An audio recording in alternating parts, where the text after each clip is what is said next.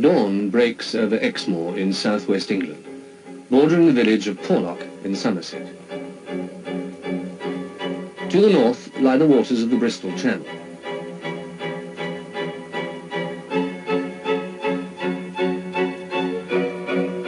Twelve hundred people live in Porlock. It's a tranquil village with a 12th century church and a 13th century pub.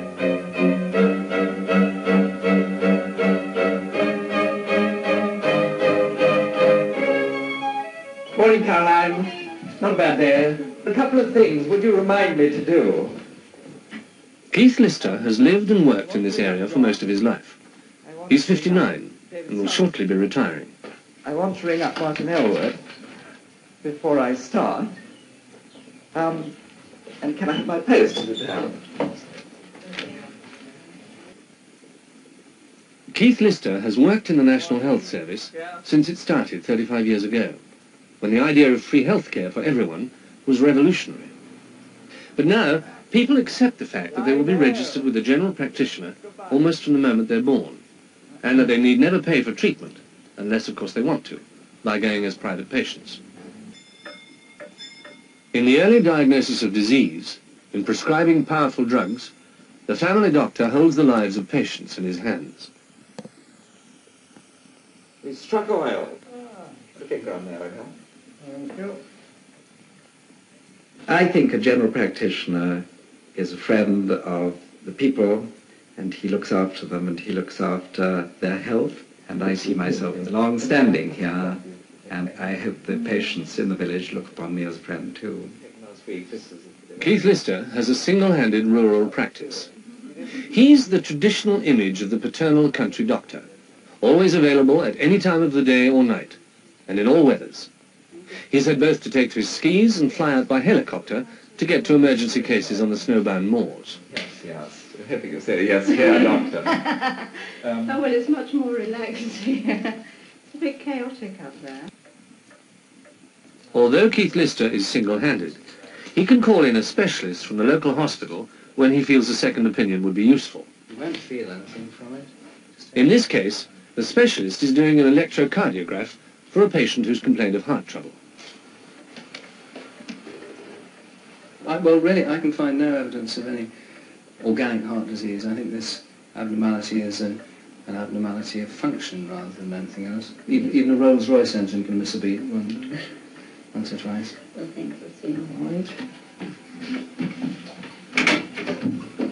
good morning, Doctor. Hello. Hello. Timmy, not very well? What sort of night? Not very good. High temperature, sore throat. General practice is the unglamorous end of the medical profession and can involve a lot of routine visiting in patients' homes, especially in the country, where buses are few and people find it difficult to get to the surgery. That's right. Shut. Don't eat it. It's just over normal. But a home visit can often tell a doctor a lot. He can pick up clues which, in some cases, can help to pinpoint the exact cause and nature of the illness. I didn't leave anything behind. Here we go. Uh, still. In Porlock, it's very much part of the job. Keith Lister knows his patients, their families and their problems, often from the cradle to the grave. lie on at night? In return, because they know he is committed to them, the patients respond with trust. And this trust, he believes, is a vital part of the healing process. It's I was laughing and saying you can use this hand if you want to. Keith Lister accepts the fact that because of the role he has chosen, his private life will be constantly disturbed. He can never sit down to a meal, take a bath, go to bed, without knowing that a phone call can summon him to an urgent case. Now then, this hand. That's right. I'm going to help you. There you are. I'm going to hold your arm, and I want to see you walk just here a step or two. You walk along on his own. Will you? Yes. Say he'll walk out in the garden, would he, or not?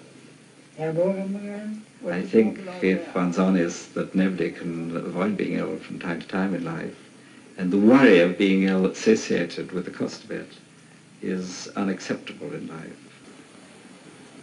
Well, really, Porlock is a goldfish bowl in a hill country. On the north side is the sea, There are hills as you go west down into Cornwall and Devon, and Minehead is an urban area six miles away. And the hill country is immediately behind me on the south side. So the majority of my patients are in a small area of about three, four miles. I don't think I face anything like the problems that one would expect.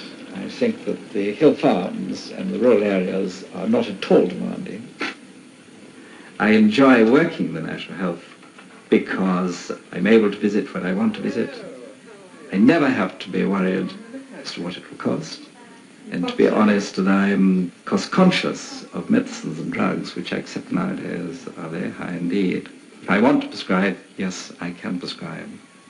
And I do. I prefer it to private practice. 10 out of 10 for clean. The bane of most doctors' lives is to be approached while they're off duty. But to Keith Lister, it's almost a way of life. He'd feel he was failing his patients if he held back from giving advice and help, wherever and whenever it's sought. No other problem? Not really, no, no. Well, yes. I just did hit my hand the other day. I always like to have a look at that a minute, you know. That finger there. It's very stiff and sore there. You could have cracked a little bone there, I think. Nothing you can do about it. I'll give you something to rub in. He carries with him in his car a complete set of medical drugs that might be needed at any time. But he regards his intimate knowledge and the personal touch which he can offer as almost his most valuable contribution to the care of his patients.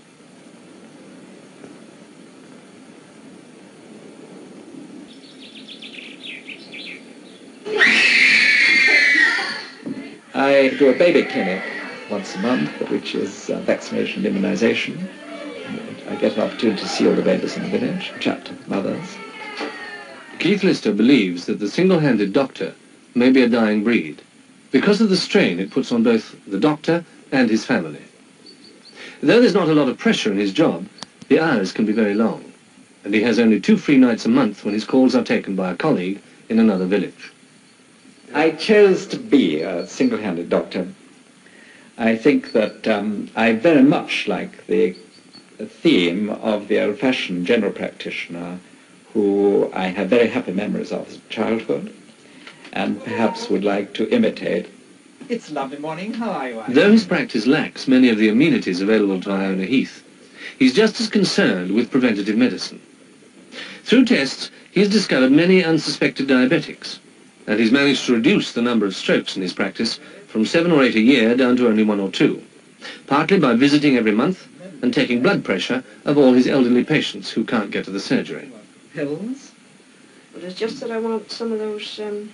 The hospital at Minehead offers him and other country doctors open access to a number of beds, so that he can, if he wants to, always get his patients into hospital and care for them there himself. To talk to Dr. Shree, to ask him really whether you would be well enough to look after yourself.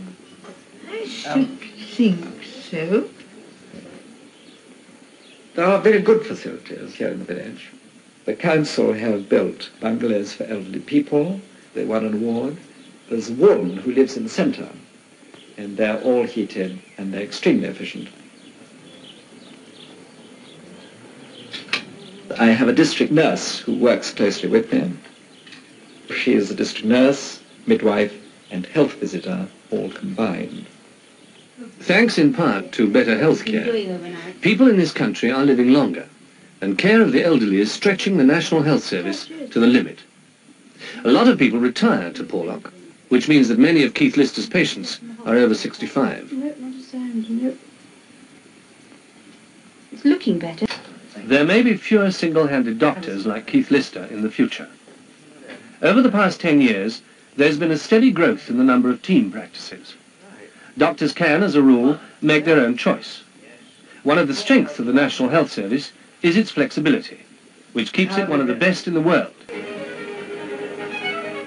I'm a staunch advocate of the National Health Service. I think it's here to stay and it must stay. I would be very sad to see any other form of medicine here in England. I think it does a good job.